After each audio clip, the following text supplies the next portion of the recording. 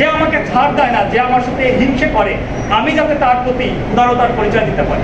যে আমার হয়তো নামটি বলতে চায় না, আমি যেন তার নামটি বড় করে বলি। এবং এই অন্যকে বড় করার মধ্য দিয়ে নিজের মধ্যে একটা তৃপ্তি আছে। যে আপনার সাথে সবসময় হিংসা করে বেড়ায়, আপনি যদি তাকে বড় করেন, সে হতে পারে যে তার মনের ধন্যতার কারণে আপনার গুরুত্ব বুঝবে না। কিন্তু একটা সময় সভ্যতা কিন্তু ঠিকই বুঝবে। সক্রেটিসকে তার প্রশ্ন করার ক্ষমতার জন্য তাকে মৃত্যুদণ্ড দেওয়া হয়েছিল। হেমলোক পান করে তার মৃত্যুদণ্ড নিতে হয়েছিল।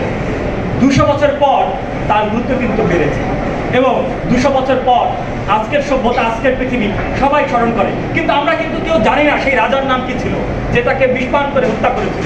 অর্থাৎ ওই হিংসা, ওই রাজনীতির আসন আসলে টিকে থাকা যে একটা দৃঢ় অহংবোধ তার মধ্যে ছিল।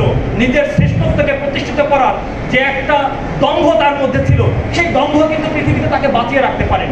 বরং ওই হেরে গিয়ে মরে যাওয়া সক্রেটিসই কিন্তু আমাদের হৃদয়ে রয়েছে, আসনে রয়েছে। আমরা তাকে পড়ি, আমাদের পরবর্তী প্রজন্ম করবে। অর্থাৎ তুমি বড় হবে সেখানেই যেখানে তুমি ছাড় দিতে চাও।